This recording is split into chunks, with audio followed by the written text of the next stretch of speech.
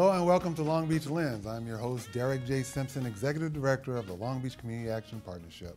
Our first guest is the Executive Vice Chairman for Bridging the Gap and founder for Rock to Recovery. Please welcome Wesley Geer.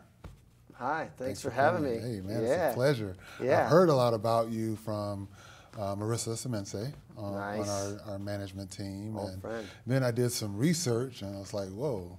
So we just stepped our game up having you here. Oh, all right. I'll, I'll, take it. I'm glad you didn't hear about me from the police department. Well, I That's got good. that record too, but I was trying to stay away from that, man. I'm, I'm trying, trying, to, get it expunged, you know. well, we've got Prop 47 help here too, but we'll get into that later. so, Wesley, um, your background as a musician, mm-hmm. just share with those who are watching a little bit about you. Uh, I, moved a lot as a kid, and uh, when I moved and I was 15, around there, 14 or 15, I, I discovered the guitar. I'd been exposed to music my whole life, but I think uh, when you're young, it didn't have much of a meaning. I, I, grew up with classical music; it was just like a part of life. But then when I heard rock guitar, about 15, moved to a new place, didn't have any friends. That was my best friend. That was it. Huh? Yeah, that was it. Yeah, and then I, I tell us about Head PE.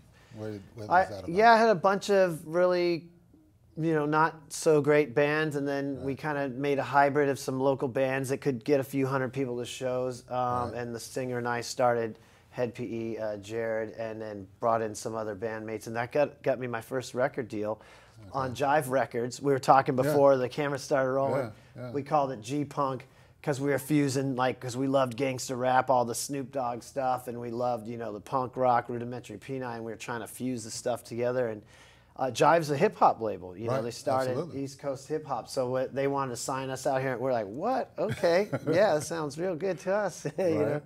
Right. And then, so you're rolling, and then all of a sudden, 2003, you have something that changes in your life as well. Well, the reality is of my record deal is I had bands that didn't do so well, and then I got really into getting loaded and heavy drugs, and then my band started doing really well. Hed, I got a record deal while I was on a lot of drugs, so I thought, well, this is my spinach, like Popeye, you know. Mm-hmm. Uh, but mm-hmm. and so for a while, I felt like I had magic powers on that stuff, and then slowly the things I thought it was doing for me it was actually start working in reverse, right? I wasn't creative, I wasn't functional, I wasn't making more friends, being more artistic. And I toured, you know, the world for a while, drinking a lot of whiskey and doing a lot of that stuff we do. And then finally, uh, it ended me up in a rehab, yeah.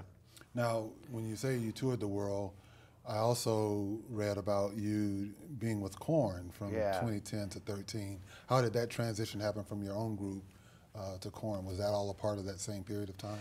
it's quite a testament to the path of recovery. Um, as you can tell, I'm not a spring chicken. Um, I left Hed, I want to say in my late 30s, and uh, I did this thing they called recovery. They said, you put your recovery first, don't worry about the job or the house or the wife or any of those things you want. Focus on recovery and getting healthy. And it was a long, slow process. My brain said, uh, You're not going to play music again, right? You're sober now. And sober people don't play music. And that's the problem with people when they get sober is their brain tells them things that aren't true, but you don't go, hey, brain, you're lying to me. You right. go, yeah, that's true, right? Right, right? So, but people told me you, you can have the uh, life of your wildest dreams, you stay sober. And so after I was sober about three years the second time, because I got loaded again in about two years when I stopped working on recovery. So about sec- uh, two years in, the second time, um, I started praying and meditating, going, universe, I think I want to get back into music. I think I have some unfinished business there. And right about 10 days after I did this meditation for manifestation, mm-hmm. where you visualize it, I got a I got a text from the guys in Korn, hey, wow. you want to come play with us? I was like, whoa, this is weird. This prayer meditation stuff everybody's been right. talking about for thousands and thousands of years right, works, right, you know. Um, and I got got to tour with uh, Korn. They wanted me in the band because I was sober.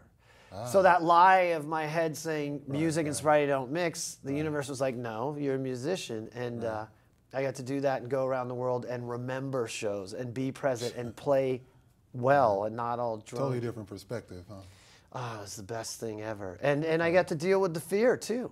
Because I was, you know, I made a, a habit my whole life of, uh, of, you know, numbing myself out, not feeling the past, not feeling the present. Um, so you know, part of recovery is we get stronger because we go through the stuff we used to do loaded, sober. And when you learn how to do it sober, you're now a stronger person. So I got to play "Blind," which is Korn's like you know most famous uh, song, you know trademark song.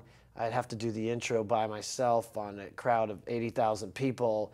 It's not even a hard part, but my heart is doing bat backflips, you know, because I know all the Korn fans are listening. Don't screw this up. And I'm like, "Dun-dun-dun-dun." you know, I was like, oh yeah. Usually I'd have a few shots of whiskey get me through this, and uh, and so yeah, it- that that's the beauty of the experience Went too. from to whiskey fe- to adrenaline getting you. yeah, feeling. We want to feel, right? Right, and right, you know, right. the the people who uh, struggle with addiction, they don't want to feel. You know.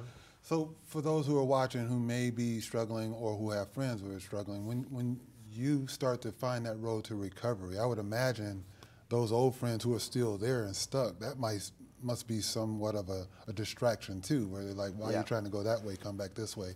How do you become strong enough to, to break away from all of that and, and stay on that, the right path? Well, you know, for me, I didn't do it my way. I didn't go, here's my plan for recovery, because I tried to change a long time. I let people tell me what the suggestion was for success. So I went to a treatment center in uh, Long Beach, Newfound Life, and I went for, I, I told him I just want to go 30 days. And about 20 days in, I was like, I'm not ready for the world yet. I, I'm barely, you know, coming out of the clouds, out of the fog. So I did that for a couple months, and then they said, you know, we recommend you go to a sober living. And that's what I did. So I had to take that ego of like, hey, I was on a tour bus, look at me, and go, okay, I'll share a room with a few dudes who wake me up because they kept me safe. I wasn't ready to go back to Huntington Beach, and I had to make a new network of friends. And it wasn't that they had to be my best friends necessarily, but they had to be like if we are in battle, right? I may not know you, but we got to save each other's lives and get each other's back, and that's what it's back, about. So I had a posse of people who were on the same path as, as I was, which is let's not get loaded no matter what. Right. Now, as you're going through all of this, I understand too, you got to that place where you found that it wasn't just about you, it was about giving back to the community, and that became really important to you as well. Yeah, you know, the truth of that whole thing is that um, when you're a musician, it, nothing is guaranteed. It could go away tomorrow, you know, and there's a and that that that always had me living with a lot of fear. So this time when I was in that position with Korn that had a lot of notoriety, and, you know, and it gave me a lot of visibility as a person, and it makes people listen to what you say and the ideas you have. You know, there's some spiritual texts I was reading in my recovery, and the the whole time I was talking to God, like, you know, I need a career. what do you want me to do? And it says you can pray for yourself if others are to be helped, right? Don't just go, give me a million dollars. So I said, okay, God, I'm an alcoholic, I'm a drug addict, and I'm a musician. How can I help people, but uh, using what I've been given in my life? And that's when the idea of rock to recovery came to me. Like, why don't you just go write songs with people in treatment? Um, so I went down that path with uh, with doing something giving backward. Right, it started as a nonprofit, and then what I'm here for. Right.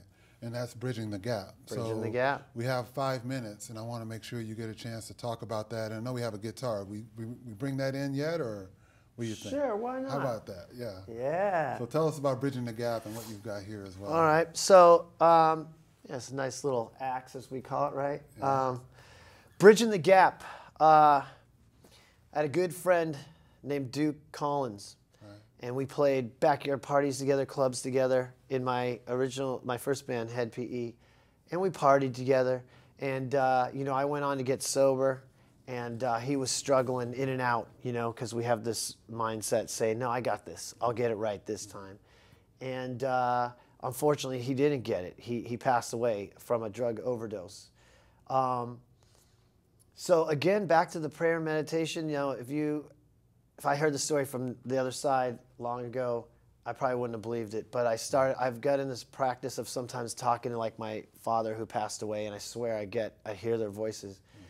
So I hadn't talked to Duke in a while. He had been, he passed on, right? And I, I was praying and meditating. And I was like, "Hey, Duke, how you doing, man? Miss you." And I was just having this conversation in my mind. And I said, uh, "I said, well, is there anything you want me to do down here?" And I heard this thing: "Get a hold of my mom." I was like, "Oh, okay, get a hold of your mom." I didn't know Duke's mom. And within the next 24 hours, I think, or 48 hours, we connected. And she's like, Yes, I got a message from Duke that we are supposed to connect. I'm getting chills right now thinking about it.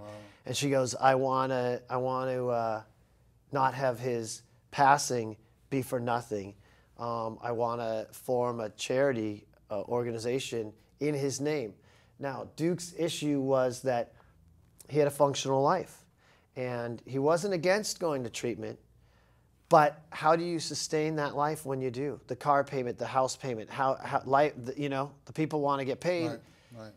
And that was his thing that he spoke to his mom about. Yeah, mom, I, I know I need help. You know, they had a great relationship, but but how do I put my life on hold? So bridging the gap is in his honor, uh, designed to help people um, financially when they have to go away and get treatment and get help. Um, and so we're going to do it where when people go to treatment and they and we know they have a program of recovery they're following, mm-hmm. will help them financially if they're sticking to their program. Not just freebies, but like yeah, you're going into the meetings or whatever you need, whatever we decide is the the, the plan of treatment.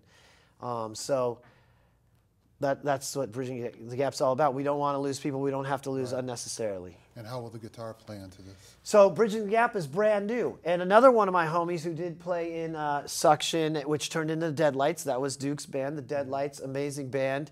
Uh, Jerry Montano.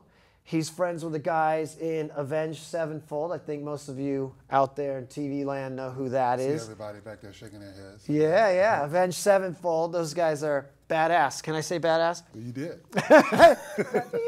um, this is a guitar that they um, that Jerry talked to them about, and they donated, and they put all their autographs on here. Um, the whole band, which is amazing. Sometimes you get one or two guys, but this has a whole band on it, and it's a it's a legit, good guitar, really nice, made by Schecter, who donated it. And uh, what we're going to do is auction this baby off okay. to help raise some money for Bridging the Gap. And how do people find out about the auction? So right now, the best way to find out about it is we're going to put it on a site called Give And we'll put it on our Facebook page, Bridging the Gap Recovery. Can we do some words at the bottom yeah, of the screen in post production? Oh yeah. So see right here. okay. I don't know, but we'll give you that information. It's Bridging okay. the Gap Recovery and we have a Facebook page called Bridging the Gap. Okay. We'll have information. It's going to be on an eBay auction. Cool. Um, if you use keywords like Bridging the Gap and Avenged Sevenfold autograph, you'll be able to find it for sure. We're out of time, man, but you've given a lot of information. I wish I had a whole show with you. We got to bring. I think we covered it. Will though. you come back again? Yeah, I'd love to. Okay. Yeah, for yeah, sure. Maybe we even get you to do a few licks for us. okay, yeah, for sure, right, no problem. We're going to take a short break. When we come back, we will be speaking with Yegi Kaela Watts of Heartsea Comprehensive Development. Stay tuned for more of Long Beach Lens.